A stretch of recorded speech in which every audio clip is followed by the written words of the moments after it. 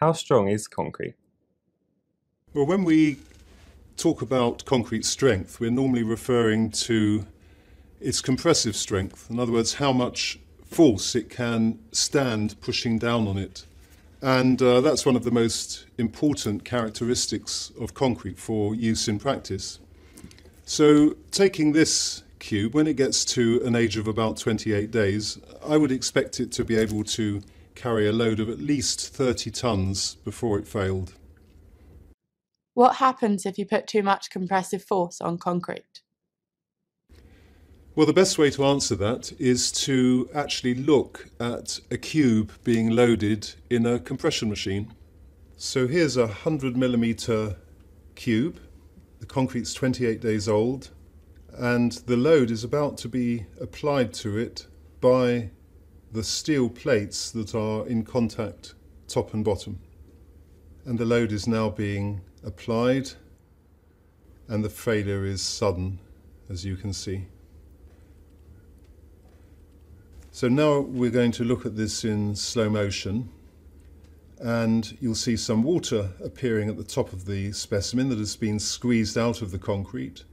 And in the same region, cracks are just beginning to form and then there's a sudden brittle failure of the entire specimen with the concrete falling away.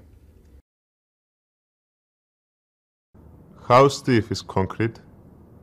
Stiffness is a measure of how much a material deforms under a compressive load.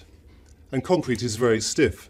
And this is important because it means that concrete in structures doesn't deform too much under load.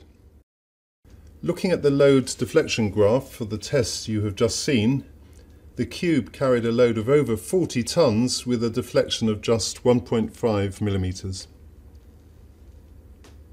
Does concrete have any strength in tension?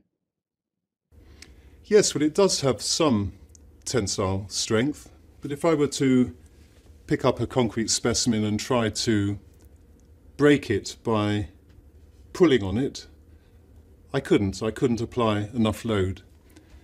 But if I were to hang weights from it, then it would fail at a load much lower than the load required to fail it in compression at a load of about 10% of that required to fail in compression. Now, why is that? Well, when concrete is loaded, tiny microcracks form in the concrete. And when the concrete is loaded in tension, those microcracks open and lengthen, and that reduces the area of the concrete that is carrying load, which causes the stress to increase and the specimen fails very quickly. In contrast, when the concrete is loaded in compression, the cracks are squeezed, they lengthen more slowly, and have much less effect. Of course, concrete can be reinforced to increase its strength in tension, and we'll hear more about that in the Bare Essentials of Reinforced Concrete series.